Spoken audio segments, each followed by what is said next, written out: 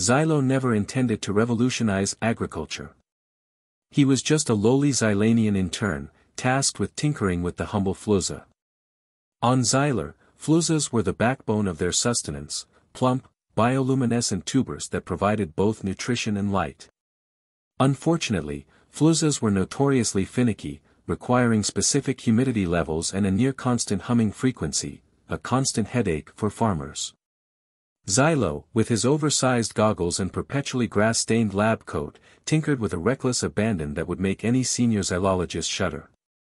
This time, he stumbled upon a gene sequence that shouldn't have existed, a mutation he dubbed FloozaX.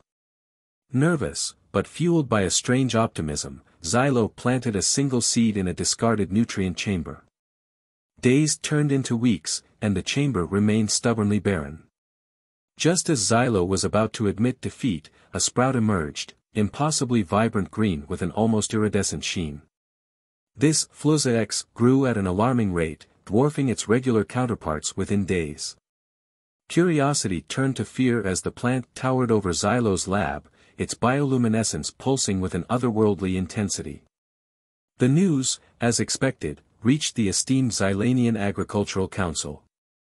Xylo, fearing exile for genetic malpractice, braced himself for the worst. But upon inspection, the council's faces contorted not in anger, but in awe. Flooza X produced ten times the yield of a regular Flooza, thrived in any environment, and emitted a hum that soothed rather than irritated. Xylo, the clumsy intern, had accidentally created a super Flooza. News of Xylo's creation spread like wildfire across Xylar. Famines became a distant memory, cities glowed brighter than ever, and farmers finally received a well-deserved break. Xylo, once a lab outcast, became a celebrated hero. He received a lifetime supply of his favorite fizzy algae drink and a lab ten times the size of the previous one, which FloozaX promptly filled to capacity within a week.